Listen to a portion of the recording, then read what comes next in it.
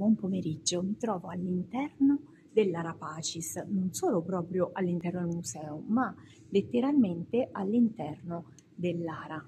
Questo è ancora il pavimento originale, questi sono i fregi della parte interna, dove si vede ad esempio la decorazione con il bucranico, cioè il bue che eh, è però rappresentato solo sua, eh, nel cranio, appunto, quindi ci sono i bucrani che si alternano con i festoni. Questa era una decorazione che si usava moltissimo nei mausolei. La ritroveremo anche presso il mausoleo di Cecilia Metella che farò vedere nella visita all'Appia Antica che terrò questo sabato mattina. Quindi sabato 11 novembre alle 10.30 presenterò l'Appia Antica e vedremo anche il mausoleo di Cecilia Metella che riproporrà questo tipo di decorazioni.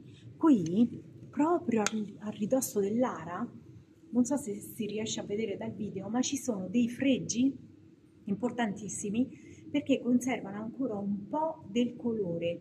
Ecco, li sto inquadrando, conservano ancora un po' del colore che c'era ai tempi delle decorazioni appunto originali, cioè quando i romani realizzavano le loro statue o le loro aree, i loro monumenti, questi monumenti erano tutti decorati, erano tutti colorati.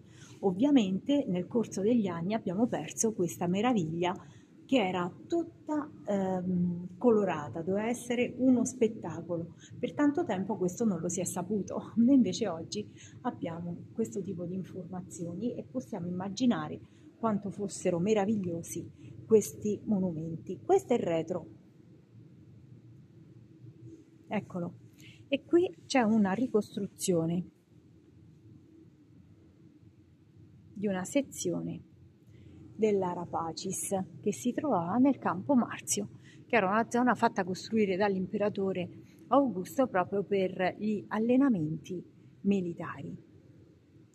Spero che si riesca a vedere anche se questi monumenti vanno assolutamente visitati. Quindi se ti fa piacere restiamo in contatto, eh, lasciami il tuo numero di telefono e ti inviterò alle mie prossime visite guidate. Sicuramente presenterò anche la Rapacis perché mi piace molto. Quindi a presto!